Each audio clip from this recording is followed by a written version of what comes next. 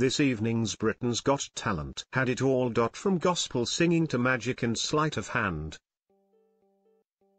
The first episode of the series certainly included a variety of acts. However the final contestant of the show brought the judges and fans of the show to their knees. Matt Johnson. An Englishman hailing from Vancouver, Canada, demonstrated his escapology SS on stage. The routine consisted of Matt locking himself in a box filled with water. As if this wasn't difficult enough. He then handcuffed himself, and put a number of ronkies in the box with him. Not looking excited for his routine. Matt locked himself in the glass box and proceeded to try and break out. As the clock started, each of the judges looked away.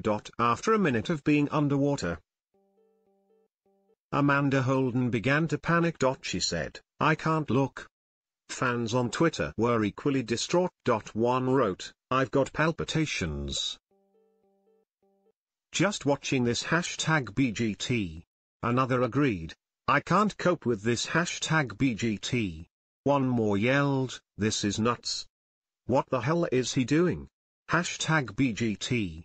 When Matt eventually got out of the box alive. A wave of relief swept over the internet. One fan confessed, now that was terrifying hashtag BGT.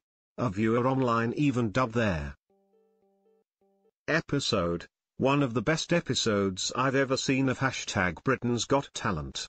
Earlier fans were completely elated over the magician. Marc Spelmann getting a golden buzzer. A fan commented. One wrote, Golden buzzer. He so deserved that.